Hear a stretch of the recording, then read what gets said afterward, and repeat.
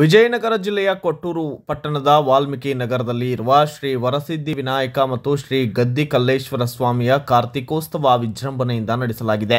ಈ ಕಾರ್ಯಕ್ರಮದಲ್ಲಿ ಪಟ್ಟಣದ ಸಿಎಚ್ಎಂ ಅಜ್ಜಯ್ಯ ಸ್ವಾಮಿಗಳು ಹಾಗೂ ದೇವಸ್ಥಾನದ ಕಮಿಟಿಯ ಅಧ್ಯಕ್ಷರು ಕನ್ನಳ್ಳಿ ಮಂಜುನಾಥ ಗೌಡರು ಖಜಾನ್ಸಿ Harapanahalli Kotresh, D Rajappa, H Nagaraj, B Ramesh Kannatti ಮತ್ತು ಕೊಟ್ರೇಶಿ ಸುದಿ ಎಸ್ ಬರ್ಮಪ್ಪ, ಎಸ್ ಪಂಪಾಪತಿ ಹಾಗೂ ಸ್ವಾಮಿಯ ಸೇವೆಯ ಕರ್ತರು ದೀಪ ಬೆಳಗುವುದರ ಮೂಲಕ ಚಾಲನೆಯನ್ನು ನೀಡಿದ್ದಾರೆ. ಈ ಸಂದರ್ಭದಲ್ಲಿ ಪಟ್ಟಣದ ಡಿ ರಾಜಪ್ಪ ಅವರು ಮಾತನಾಡಿದ್ದು, ವರಸಿದ್ಧಿ ವಿನಾಯಕ ಮತ್ತು ಕಲ್ಲೇಶ್ವರ ಸ್ವಾಮಿಯ ಈ ದೇಗುಲವು ಸುಮಾರು ಹನ್ನೆರಡು ಹದಿಮೂರನೇ ಶತಮಾನದ ಅತ್ಯಂತ ಹಳೆಯ ದೇವಾಲಯವಾಗಿದ್ದು, ಸುದೀರ್ಘವಾದಂತಹ ಇತಿಹಾಸ ಇದ್ದು, ಇದು ಚಾಲುಕ್ಯ ಕಾಲದ ದೇವಾಲಯವಾಗಿದೆ. ಇದು ತ್ರಿಭುವನಮಲ್ಲ ಎಂದೇ ಬಿರುದಾಂಕಿತನಾದ ಆರನೆಯ ವಿಕ್ರಮಾದಿತ್ಯ ಆತನ ರಾಜನ ಆಳ್ವಿಕೆಯಲ್ಲಿ ನಿರ್ಮಿತವಾದಂತಹ ಈ ದೇಗುಲ ಎಂದು ಇಲ್ಲಿನ ಶಿಲಾಶಾಸನದಲ್ಲಿ ತಿಳಿದು ಬಂದಿದೆ. ಹಾಗೂ ಇದು ದಕ್ಷಿಣ ಭಾರತದ ಏಕೈಕ ದಕ್ಷಿಣ ಕಾಶಿ ಎಂದೇ ಪ್ರಸಿದ್ಧವಾಗಿದೆ ಎಂದು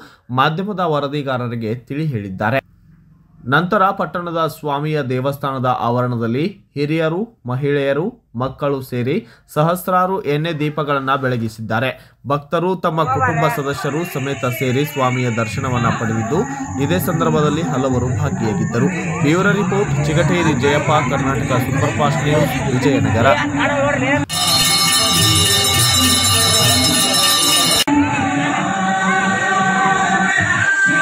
ನಾನಾ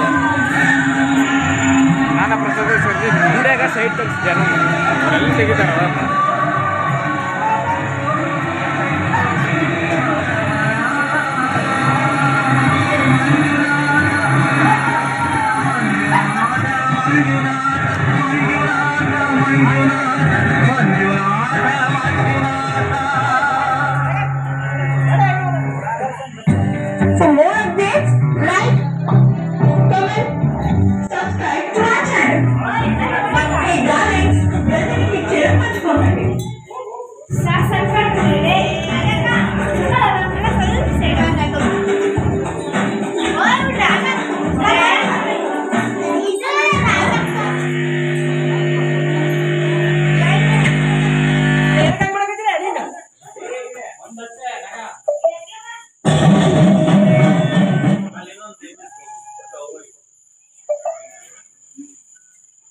ફોમાં કોણ આ તો યાર હાથ હાથ